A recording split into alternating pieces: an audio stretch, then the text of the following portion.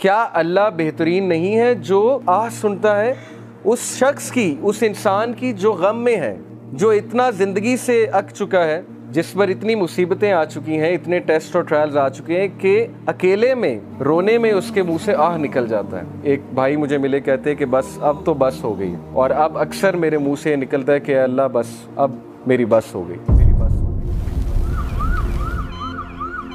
तो ये कौन सुन रहा है उनकी? आह, अल्लाह ताला कहते हैं, मैं सुन रहा हूँ। क्या अल्लाह से बेहतरीन कोई है जो अपने बंदों की तन्हाई में आह को सुन अल्लाह के अलावा कोई इबादत के लायक है? क्या कोई और हस्ती सुन सकती है वो आवाज़? यूनस इस्लाम की आवाज़ समंदर की गहराइयों से अल्लाह ने सुनी, अंधेरों की गहराइयों से अल्लाह ने सुनी।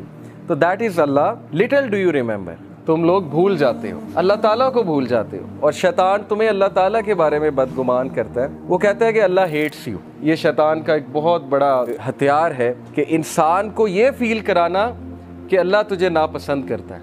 या तेरे तो बहुत गुनाह हैं या तू तो इस लायक ही नहीं कि अल्लाह से बात कर सके। तो अल्लाह से दूरी, अल्लाह ताला से इनसिक्योरिटी और अल्लाह ताला के बारे में बदगुमान होना, जैसे इशफाक अहमद रहीमा कहा करते थे ना, कि ज़िंदगी में हर हमाकत कर लेना, लेकिन कभी ये हमाकत ना करना कि अल्लाह ताला मुझसे प्यार नहीं करते। ये ज़िंदगी की सबसे बड़ी हमाकत है। या यूल इंसान मागर रका भी रबी कल करीम। ए इंसान, तुझे किस चीज़ ने अपने रब से गाफिल कर दिया?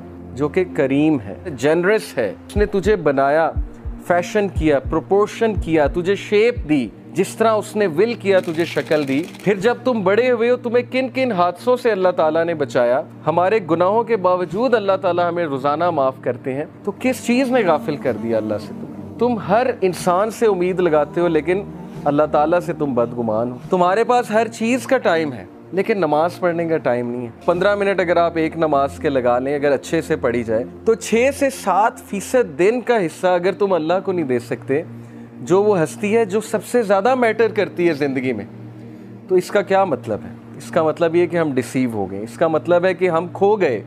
इसका मतलब है कि हमने उस हस्ती को इग्नोर कर दिया, यानी हमने अपने पाँव पे खुद ही कुल्हाड़ी मार ली। और वो हस्ती बार बार हमें बुलाती है। फाइव टाइम्स अ डे अल्लाह सुबहाना ताला कॉल्स अस हमारे फ़ायदे के लिए ये नहीं कि तुम्हारी इबादत से मुझे कोई फ़ायदा होगा। मेरे तो पता नहीं करोड़ों एंजल्स अरबों खरबों एंजल्स अल्लाह ताला की हम बयान कर रहे हैं। हर एक आर्म की लेंथ पे एक एंजल खड़ा हुआ है हेवंस में। हर एक आर्म की लेंथ पे जो अल्लाह की हम कॉन्टीन्यूसली बयान कर रहा है। So, Ya Yol Insan Ma Gharraka Bi Rabbikal Kareem, O mankind, what has deceived you concerning your Lord, the most generous.